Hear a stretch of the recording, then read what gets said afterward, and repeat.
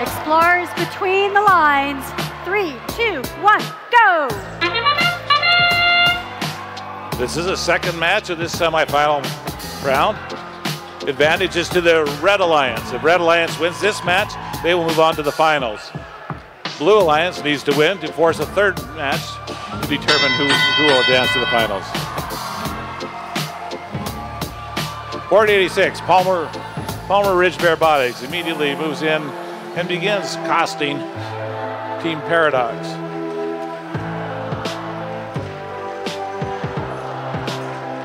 On the Red Alliance side of the field, 30 6 has moved in to try to wreak havoc among the Red Alliance. Both alliances are gamely trying to load cargo into their cargo ships while being harassed by members from the other team.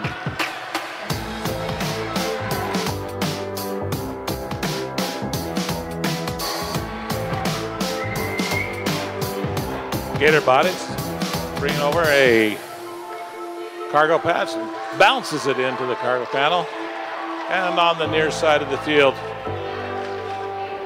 the prototypes are also able to put cargo into their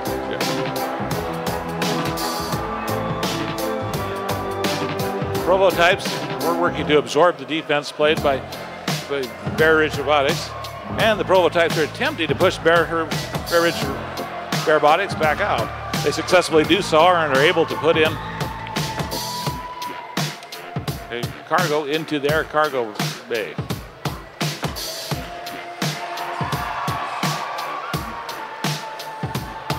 Quietly, back at the beginning of in the blue area habitat, Team Paradox is preparing to begin its HAB 3 climb. 30 seconds left in this match. Judgment Call has executed its HAB 3 climb. Gator Botics looking to possibly do a HAB 2 climb. In 4068, Great Palmer Ridge has successfully arrived on HAB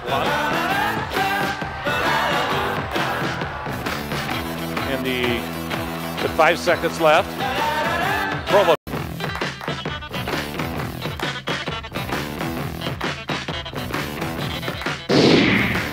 Here come the scores. Red Alliance is indeed victorious. They win by a score of 61 to 43. They win this series two match